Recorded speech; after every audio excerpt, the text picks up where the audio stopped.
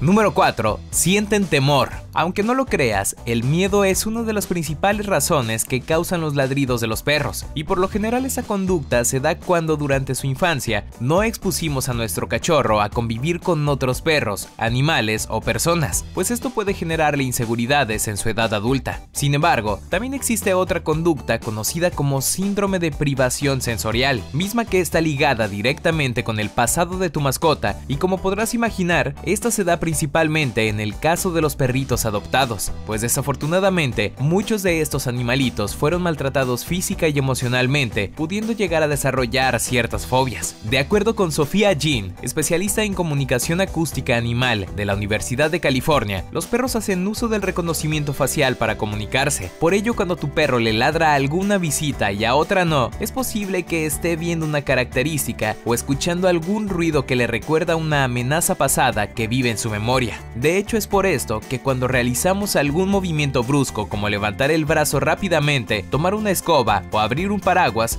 resulta verdaderamente atemorizante para ellos. Así que si tu perro siente miedo de ciertas personas, sin duda comenzará a ladrarles, buscará escapar o incluso podría intentar atacarlos buscando defenderse y cuidar de ti.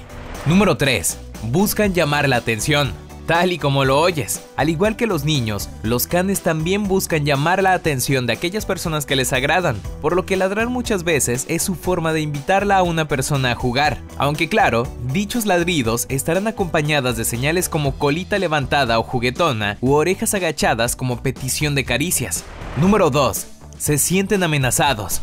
La presencia de otras personas en lo que ellos consideran su territorio pueden hacer que tu mascota se sienta amenazado o invadido por lo que para defender lo que considera suyo, ya sea que se trate de tu casa, sus juguetes o incluso de sus amos, algunos perros recurren a la agresividad.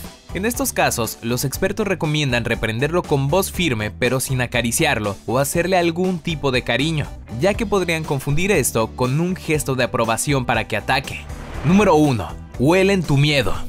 Pero, ¿es verdad que los perros son capaces de olfatear el miedo de las personas? Aunque no está científicamente comprobado, expertos aseguran que los perros sí pueden oler nuestro miedo e incluso ladran al identificar dicha emoción. Cuando sentimos miedo, estrés, ansiedad o cualquier otra emoción, nuestro cuerpo libera naturalmente hormonas al torrente sanguíneo y a los fluidos corporales como el sudor, alterando de esta forma nuestro aroma, el cual aunque no puede ser percibido por nosotros mismos, sí es identificado rápidamente por el poderoso olfato de nuestros amigos de cuatro patas, mismo que es 10.000 veces mejor que el de los humanos. Asimismo, y debido a que ellos utilizan su postura para comunicarse, son excelentes lectores de las posiciones que adoptamos frente a ellos, por lo que si detectan nuestro miedo, pueden tensarse o sentirse temerosos, adoptando entonces una actitud defensiva y lanzando fuertes ladridos. Recuerda, los perros perciben su entorno por la información que llega a su nariz y su reacción va en función a experiencias previas. Así que si tu mejor amigo toma esta actitud constantemente con la misma persona, significa que no le gusta y que probablemente deberías comenzar a tomar tus precauciones.